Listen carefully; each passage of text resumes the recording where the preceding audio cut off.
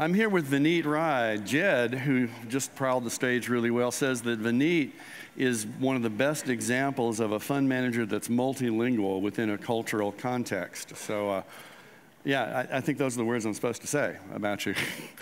uh, I kind of met Vineet seriously a month or so ago in Singapore, and we were on a panel. We just said, Well, you know, I kind of like the way you do things. Let's see what we can do together. And so we're up here to, to talk about how we might do things together. He does Sankalp the largest uh, event other than SOCAP that's focused on this, that's much more entrepreneur focused and Indian contextual, and you know they can talk back to investors to say this doesn't work here and stuff like that. And we're we have a Western kind of focus here at SOCAP, more investor focused than Sankalp, and uh, we want to explore a learning partnership. Uh, if you look on the slide, the story down in the uh, the learning and sharing story is about Vineet and me talking and what we're trying to do together. And Vineet has a lot of really good ideas about it. He's thought a lot more about it, and I've responded to it. I think it's some really good stuff that we want to do. This is going to be an announcement of a partnership, and we have a couple things that we, that we want to do. Vineet, you want to describe some of your ideas? Yeah. Uh, first, uh, thanks, Kevin, and thanks everybody to uh, allow me to come here and speak to you. Uh, Sankalp was actually an initiative of Intellecap, uh, which is a company that works across the bridge, tries to do everything that's possible to be done to create value uh, and the infrastructure that is needed for capital to work. Run by a fairly young set of people and was set up actually around 2002. Uh, today morning, I actually had a chance meeting with uh, one of the persons who was the first investor in, uh, in Intellecap some seven years back. And uh, he was coming back from a meeting with uh, Alan Greenspan, and uh, I was trying to tell him, I normally start my conversations by saying impact investing is contextual. So your learnings of what you are doing in one place may not work in the other place. And it's actually a fairly uh, well-known thing. And he said that when you're talking about investing, and he had heard this from Alan Greenspan yesterday, it seems, that capitalism is cultural, actually. And until unless you want to make capitalism work, without understanding culture, it's bound to fail. And I think impact investing has similar context. So what actually impact investing can do in United States of America is not going to be needed or will be effective in India. And possibly what can be done in impact investing in India is possibly not going to be needed or work in Kenya. Problem is that capital is actually still flowing from west to the east. But the actors are actually all based in east, largely. And I think the partnership that we are talking about is emerging from the thought process that what we do at Sankalp is so different from SOCAP. While the objectives are the same, the process, the culture, the context is so very different that there is a need for a north-south dialogue. And this actually emerged when I and Kevin were sitting in Singapore trying to actually pull fast ones on the limited partners who invest in this space. And it seemed to me that we are actually talking to different languages coming from different contexts and doing things differently. So what appeared to me is the right way to move forward is to actually rise, and that's actually what I was telling Kevin, that my last decade, last 10, 12 years of my life has actually gone in survival, in trying to serve my own objectives, in trying to serve the objectives of my own institutions. Having trying to be an impact investor, I think one of the first objectives that was actually important for me was to rise above myself but actually, I, what I did was served all my interests for the last 10, 12 years. And for the, possibly the next decade for our life, we might have to spend doing something which is beyond my personal needs. And I think a lot of people here in this room possibly want to play in impact investing to do that, but we have done the reverse for the last decade, at least to serve my needs. So if SOCAP and Sankalp claim to be actually two very large uh, conveners of people who are either participant or actor in the change that we are trying to make, we need to actually rise beyond our personal ambitions of being the largest, the best, the one that changes the world, to actually become the dialogue conveners and see if we can create value for each other. So that's what was the objective with which we started a dialogue. And yeah. uh, I know I've gone into a long monologue, uh, but that's what I love. I love hearing my voice as well. Yeah. Kevin, yeah. I, I think, you know, one of the things we do in the West is create a lot of silver bullets. And you know, they in, in India and the other places, he's working in Southeast Asia and also heading toward Africa with Intellecap and his, his group at. They can know like how stuff works there. You know, like is there somebody to install it? Is there somebody to repair it? Is somebody to install the new one and upgrade it and collect for it? And or are the roads too bad? Or the, you know, I, I into all kinds of Westerners who are saying, I'm really excited about my new technology. And I wanted to say, well, you know, who's who's your partner there? You know, I mean, are you partnered with the bodegas for collection, or, or who's, who's your who's your easy partner where, where, you're an easy product, and how have you figured that out? And very often they, there was a guy uh, last year who he really had a really great solar technology, and he'd figured it out. And in this one part of Kenya, uh, the Catholic justice worker was more trusted than both the government and the tribes, and he opened all the doors, and everybody adopted this wonderful, you know, solar technology that took out kerosene. And he says, "I, I really knocked it." I "Well, great." Where else is the Catholic justice manager more powerful and more trusted than any other eh, thing? I think you, you, you he said, "Well, there's only this guy. and uh, so sometimes you know, he, he, figured out one valley, but, but he couldn't figure out the, you know, the, the, the, the, the context. He had somebody that opened the context to him. So I think we do a lot of these, you know, silver bullet things, but, you know, we got to figure out how it works in India. There's a lot, a lot we can learn going that way so we won't be, you know, white folks with silver bullets saying do it this way. Uh, I think there's a need for white folks with silver bullets because. Uh, yeah, oh, I think so too. Yeah, yeah, absolutely. It's, uh, it's actually very critical in some sense because uh, if I go back, I think uh, there are a couple of things I wanted to add to my own personal journey. Uh, and to a lot of you, possibly who actually do not know the cultural context, do not have the skills, and still want to make a difference, that may actually sound pretty, pretty similar to what you were. So I was actually a guy who was trained to be a forester. And actually, before I started the fund and Intellecap, I actually used to live in a forest. So I actually was a guy who should hang on the trees uh, and jump like monkeys. But I then, one fine day, decided that there is a need to change the world. Or at least I figured out that there is actually, rural India is 70% of India. And Mahatma Gandhi had said that 70% of India lives in, or India lives in villages, so we should do something about the villages.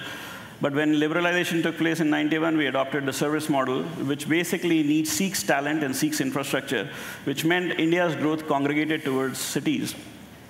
So 70% of India that lived in rural India actually was left behind. So while India grew, this urban India grew by 12%, the rural India grew by 1%. And in 2000, it was pretty obvious that uh, if you don't bring about a change in rural India, 70% of the India would not associate with the growth that was taking place in 30% of India. So like any person living in the forest uh, who thought he was the brightest guy around, uh, and after meeting a lot of people, I realized that you need to create enterprises in rural India. And uh, after asking a few questions here, and you can ask anybody who's an entrepreneur around in this room, that what is it that you need, they will say we need money. So the easiest thing I could conclude is people need money to start business, and that money is not available. And uh, so in my brightness, I quit my job and started a fund with $2,100 at that exchange rate. Indian rupee devaluation has now made that $1,500 already. So I started with this $2,100, and uh, of this, $100 went into setting up the fund, and $2,000 went into setting up intellectual capital, which I thought, or Intellecap, the company, which I thought would attract the best of the young talent and try to change the world. Uh, now, a lot of people ask me, how did you survive a guy from the forest trying to raise a fund whose family in last 300 years have never been an entrepreneur to actually run a venture capital fund whose definition you learned from Google. How did you survive? well, it actually then links back to the white man with the silver bullet because you have the ambition and the passion to make a change. Sometimes context and content doesn't matter. I'm one of the brightest example of this context and content didn't matter because I did not know how to invest. I did not know what financial model looks like. I did not know how an entrepreneur looks like. And more importantly, I was trying to raise money without knowing how rich people look like. So, so if I can do it, a lot of you can do it. it's important to be aware what you don't know. And the mm. good part was I did not know how to run a venture fund. So I went and asked very without any shame to people that I want to raise a fund, would you invest in me? And if somebody asked me, how would you exit? Uh, I had actually read a paper from IFC which said 93% of the world actually struggle on exits. I said, I am in the majority. We don't know how to exit. So, so I think accepting what you don't know possibly is one of the best ways in case you want to be those guys who want to become from participant, eager participants to actors. And I think the partnership that we are talking about between Sankalp and SOCAP is actually to connect the actors who basically we represent, we believe is what Sankalp is all about, with the participants, which I believe is what SOCAP is about. Mm-hmm. And I think that kind Meaning of like intermediaries, investors, consultants, researchers, all those kinds. I think there is a second part of it, which I think is a very California thing, and I still struggle to connect with that, but I actually admire it because I can't connect with it, is you can actually discuss and debate things that we cannot even conceive of. So if you come to Sankalp, if any of you have attended Sankalp, you will see we are very focused on doing things in one way. But when I come here, I see faith, ocean, I mean, I'm actually struggling to connect the, all these unconnected this thing. It may be because you are SOCAP, or it may be because you have California. We have paths up there. We have paths on the infographic. Yeah, just, so, just, follow the path. So, so I think the white man with the silver bullet is equally important in correcting people like me who, who talk about spirituality but oh, yeah. don't understand it the way you understand it. So. I, I, well, you know, I moved here from Mississippi. Most of my uh, business career was in Mississippi, which is highly contextual. It's kind of like, you know, if you're a Johnson from up the North Road, everybody knows what you can do and what you can't do. And I moved here in 96, and they said, well, you, you know, I talked about something I was involved in public schools in Mississippi that was they didn't like or whatever. I said, well, you know, in California, you can just eliminate any part of your past you want to and, and, and reinvent yourself. It's like, oh. So I don't have to be the guy that said I was in Mississippi. Okay, I, I kind of liked it because I've been going upstream in Mississippi, all, you know, for 20 years. I think that's why we get along. Yeah, exactly, exactly. Yeah, it, it, you know, California is a place to like, you know, re- reinvent yourself, and you know, then you go to India, and it's like, oh, maybe I'm not really that. You know, I think that reality check and I'm, I'm, we're also interested, you know, there is this opportunity that we've talked about, about the foundation. I'm going to go off and talk about that too. As you've seen here, there's a lot of collaboratives uh, of foundations that are working together here. You know, there's the uh, Packard was the kind of leading oceans group that is getting everybody with a sort of different theory of change that's kind of overlapping, like Rockefeller does coastal communities, Packard does sea, and uh, Gordon Moore Foundation does whole ecosystems, and Bloomberg wants to be around the new smart stuff. And there, other folks are coming into that space. And uh, we want to help those collaboratives and those discussions carry forward, you know, between SOCAP and then also with the research that, you know, Intellecap is 600 people and they do lots of research. So we're going to figure out there is a real clear market opportunity. I don't know how to deliver on it. Our team is not based, uh, we don't have a service orientation, and he's got a, a business that does. So we're going to we're going to see if there's an opportunity to come to market there on something that we can't do that he could provide, and we're going to you know tiptoe in and try to be uh, you know uh, foundations need a certain kind of convening you know behind uh, only some people in the room that kind of thing, and uh, work with you on that too. Um, I mean, uh, again, the learnings that we have got from the context in which we have worked with, I again would be very cautious in saying that we may might be able to educate people here uh, with the same thing. It's a brown man with a silver bullet may also not work. but, uh, but I think uh, what we have done and what we have learned is uh, capital alone doesn't work. Uh, knowledge of context is important, but is actually not, again, a solution for you. Yeah. Uh, and therefore, you need to actually build an ecosystem. And uh, every effort that we each one of us try, and Silicon Valley possibly is the best example of what an ecosystem should look like. Uh, the problem is this ecosystem functions at a certain kind of, uh, with a certain kind of context and certain kinds of businesses.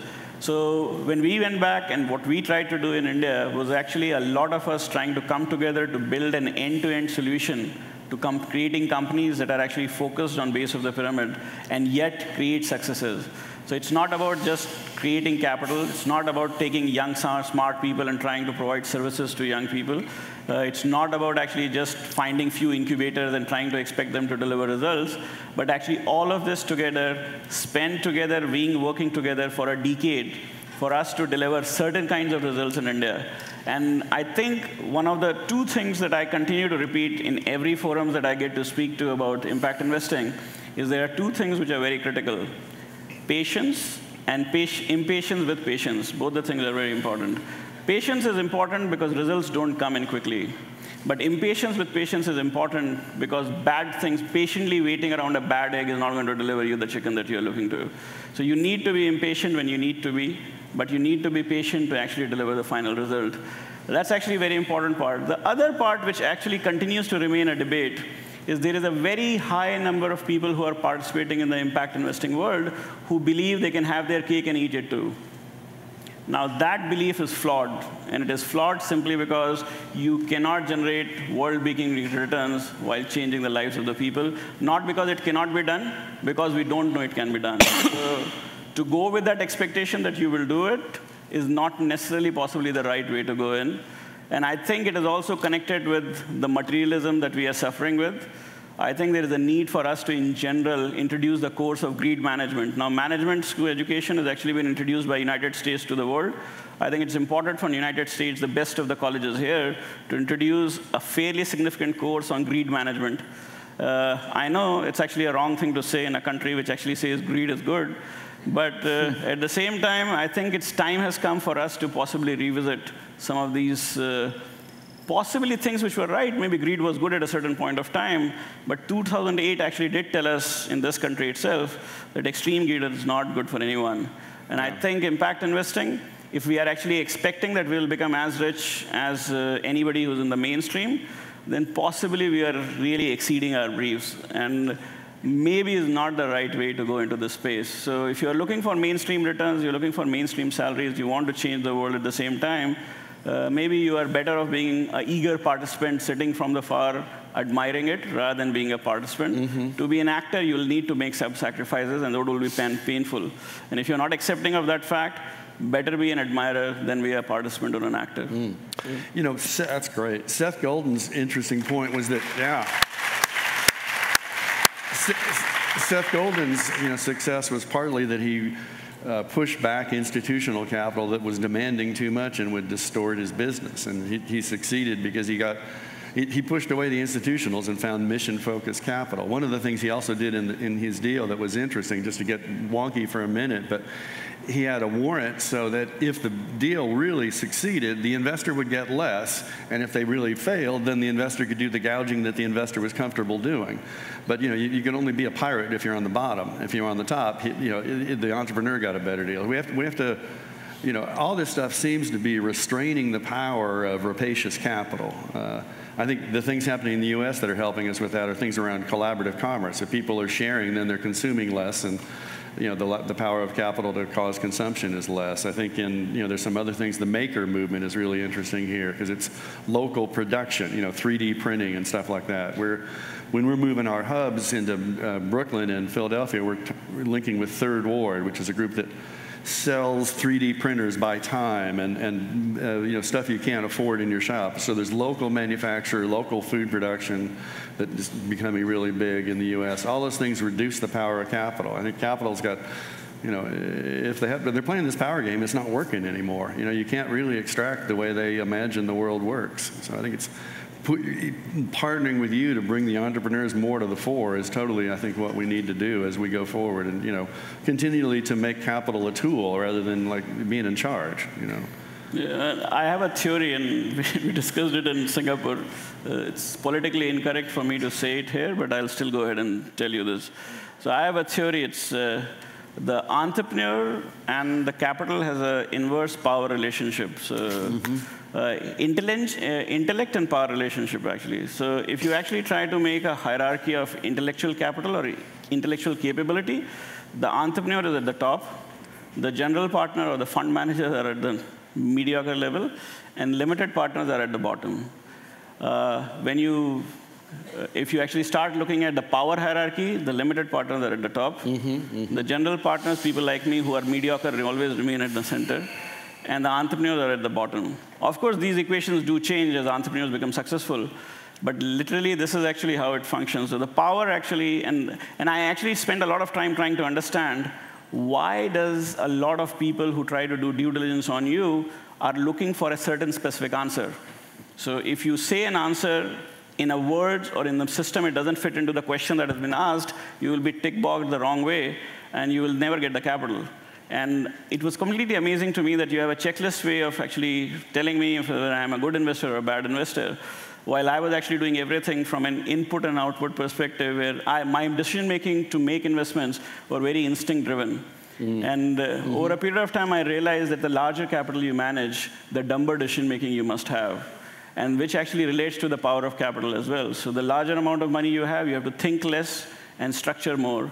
And therefore, there's actually this correlation that I discovered with experience and I think we are moving towards it as Aavishkaar actually becomes larger and larger. We are moving towards dumber decision making as well internally. Something that worries me and keeps me awake. Yeah, being big can, can cause yep. you to lose things. Yeah, we're looking at a holding company next time rather than a fund that has to get out. The timing of, of five-year venture funds or whatever versus impact is sometimes in line. It's really in line right now at Obamacare and mobile health, uh, with because uh, that's you can change the game with mobile health right now around Obamacare to, you know, make lives better for the working poor in the U.S. They finally count in the system, and you can make lots of money keeping, you know, poor folks, working poor out of the emergency room. Uh, using mobile apps to help you do that. That's a time-bounded opportunity. It makes sense to put that on a venture timeline because I think it's really important that we institutionalize Obamacare because it it's at, it's at lots of different kinds of risk, and we can have a much safer, better healthcare system in the U.S. if we, you know, throw a lot of venture capital at that and a lot of entrepreneurs at that kind of thing. Uh, but it doesn't happen often that the overlap of the margin and, and impact are, are alike. It's a real brief window. I think uh, I'll actually connect what you just said about US to India's economic woes right now. We have mm. a rupee devaluing pretty rapidly and sharply. And uh, so therefore, the government is scurrying around for cover, trying to actually look at what is it that we cannot stop from importing. And we figured out India's second largest imports are for electronic goods, actually, surprisingly. While oil is actually a necessity, there's no reason for us to actually import gold and uh, electronic goods. And then there is a lot of time which has been spent trying to understand why don't we produce electronic goods. It's simply because we have never invested in trying to create infrastructure to produce electronic goods. So at this point of time, hmm. Indian government is actually talking about setting up venture funds which will actually invest in uh, now, actually, this will take 10 years or 15 years to create impact, and by that time, we would have devalued as much as we possibly don't need to. But uh, this is actually one way, like exactly as you said, you can actually have capital trying to create new ideas to solve these problems, whether it's in US, but they can all impact your main economies finally, and it totally depends on, and that's why I think in some sense impact investing is nothing but a transitional activity. Things that start as impact can over a period of time move to mainstream.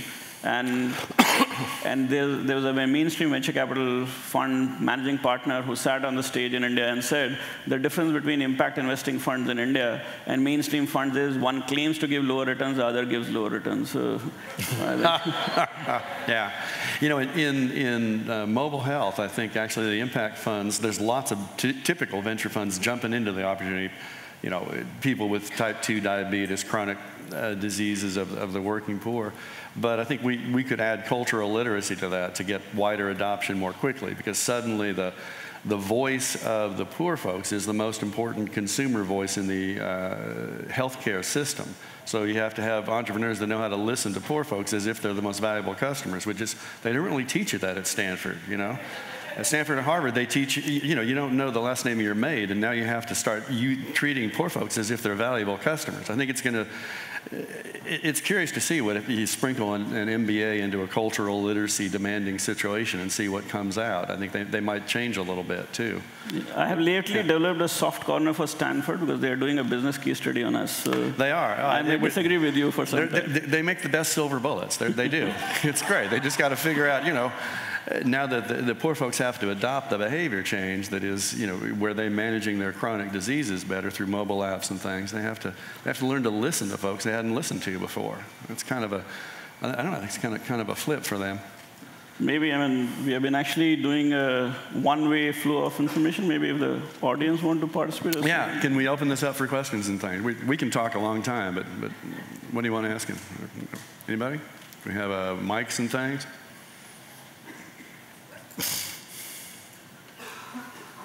Okay, great. Good. If you were not bold, we would consider ourselves amusing and keeping going, so that's good. Hi, my name is Lloyd. So I've actually just taken a mobile health without borders course at Stanford. Mm. And so it's appropriate for me to ask the question. Great stuff. Um, and I've worked with the city of San Francisco in trying to figure out food deserts here. And so last year, I participated in a design jam where I had teammates that lived in the Tenderloin here, so one of the poorer neighborhoods. And you know, taking a design thinking to concern design perspective, what they wanted was a access to a local grocery store. Mm-hmm, mm-hmm. But from a, you know, you flip it from the investor perspective, the margins for fresh goods and produce, um, vegetables, is so low that even though I know what the residents in the community wanted, that's not what makes sense from a return on investment, whether mm-hmm. it's short term yeah. um, or medium term. How do we end up bridging that, you know, from a healthcare to a commerce, which are different industries, and at the same time serving the needs of, you said, um, the poorer residents in the community? Yeah, I have an example. We, our hub is right at Sixth Street. I work with folks, you know, the caravan folks out of TechSoup doing mobile stuff. There's some problems that you can solve with mobile in Sixth Street. One of the ones that they just rolled out is a thing called uh, Safe Night, and it's. Uh, and every night in the U.S., there's 6,000 or so women who need a place in a, ba- in a battered women's shelter, and there isn't one. They got a grant from Microsoft and some other folks to use latent hotel rooms around cities, where, and somebody could donate to put up $25 and you could give, give a night, and then it's also secure because nobody's supposed to know where she is. So, I mean, there are places where complex social problems with a transaction can equal mobile. Food deserts are not there's too many other, there's moving stuff. So there, there's, a, there's some, one that Tenderloin Technology Center is rolling out now that's really cool is a mobile app, and homeless folks in San Francisco have smartphones, and it's where there's a meal now and where there's a bed now throughout the system, uh, you know, and, and with the problem of updating. Some places that works. Some places, you know, it's a good technology, doesn't work there, you know. So solve it moving stuff is not a mobile problem. You know, moving data, moving transi- transactions is, a, is an easy mobile problem. And then finding latent, you know, they did latent inventory. So I'm really interested in it, but it's, you know, it's cool technology. It doesn't work everywhere. That's one of the things, you know. Figure out how to do shipping, distribution, and receiving in a whole different way. That's every organic problem company has that kind of thing. Distributors suck. You know, so. Yeah. yeah. I mean, I wouldn't comment because he's an entrepreneur and he's on the intellectual hierarchy much above me. So. I have a question over here. I'm behind you. Mm. Um, the problem that keeps you up at night about the pitfalls of scale and the pitfalls of growth. Um, can you tell us what ideas you're having about solving that problem while you're losing sleep? It's to me. Yeah. So what keeps me awake? Well, I think uh, one of the fears, and very simple fear, is actually to become dumb. And I actually see a sense of it as the number of people increase and then the amount of capital under management increase. Uh, instead of following the instinct, we are actually worrying about the fears. Uh, I've always defined that uh, investing, any good investor should actually be focused on what he controls and should not really be bothered about the outcomes. And the outcomes are actually seen as uh, returns and impact you make. Uh, so I have never really bothered either about the return nor about the impact. I only focus on whether I can actually find a good entrepreneur. Uh, if he's trying to solve a good problem that actually has a business case to it, and if my capital can make a difference. These were the only three questions we ask. Uh, the, the larger we are becoming and the further I'm going away from actually doing that activity, I'm realizing transferring this very mediocre thought process to very intelligent people is one of the toughest thing I have come across people question everything and say the financial model doesn't give justify your instinctive decision making. So taking input-based decision to create value versus outcome-based decision making is something which keeps me awake.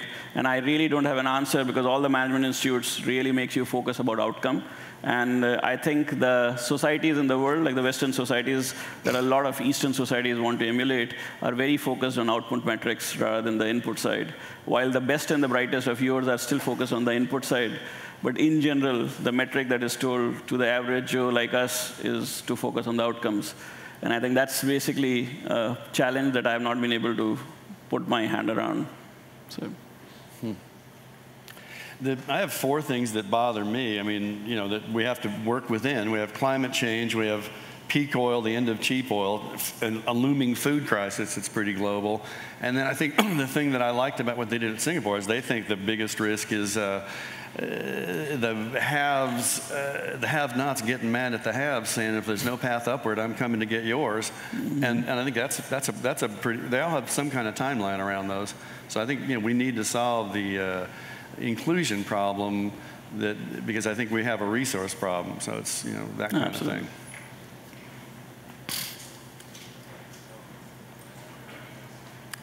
We have about a minute left. Uh, oh, I, I want to also uh, express that I'm really glad that the Canadian minister is here. I know that was something I was supposed to do.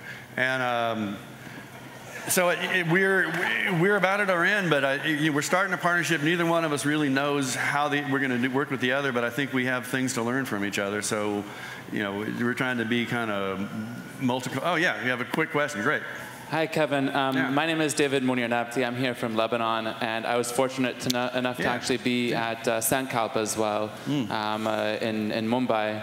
And uh, coming from the Middle East, we are actually really excited about the amazing stuff that we saw at Sankalp and the stuff that's happening in India and the amazing sort of breadth and energy and, and enthusiasm and entrepreneurs, et cetera.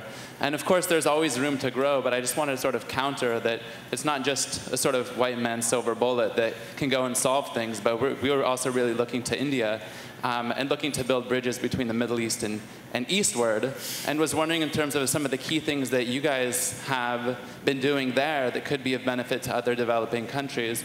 Whereas um, sometimes I feel like coming from Silicon Valley, um, which is where I grew up, sometimes there's gaps because uh, um, entrepreneurs, innovators here don't always understand some of the core issues that are troubling, that are problematic in some of those developing Right. landscapes. Take about a minute. Go ahead. Yeah. That's, your, that's to you. Uh, I think uh, uh, part of the reason both of us are on the stage, and Kevin was uh, nice enough to let me come on the stage, uh, was that we actually believe that today we have actually, between SOCAP, Sankalp, what we are doing, we have figured out some things that can actually be taken forward. Now, again, the context is important, and as like you said, whether we can do something in the Middle East that can create significant value.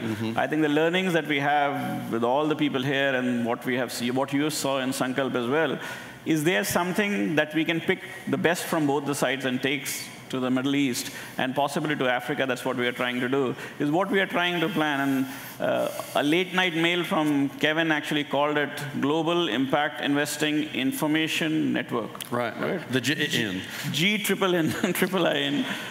And I think that, that if we can actually come up with something that can create or take the debate and harmonize the differences that we have on what impact is and what investing is and where capital will go, uh, and what kind of impact we should make, we might have created something that could benefit all of us much beyond what we are doing in Mumbai and San Francisco.